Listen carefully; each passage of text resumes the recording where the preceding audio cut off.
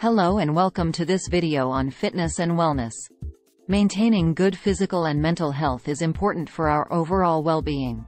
Here are some tips to help you stay fit and healthy. Exercise regularly.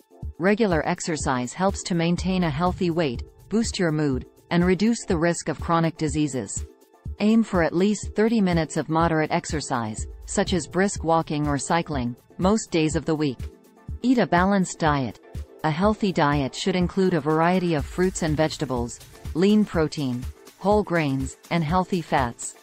Avoid processed foods and sugary drinks as much as possible. Get enough sleep. Getting enough sleep is essential for our physical and mental health. Aim for 7 to 8 hours of sleep per night, and establish a consistent sleep schedule. Manage stress. Stress can have a negative impact on our health, so it's important to find healthy ways to manage stress. Try activities like meditation, yoga, or deep breathing exercises. Stay hydrated. Drinking enough water is crucial for maintaining good health.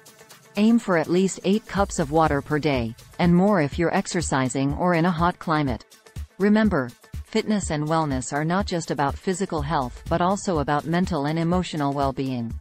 It's essential to take care of all aspects of your health.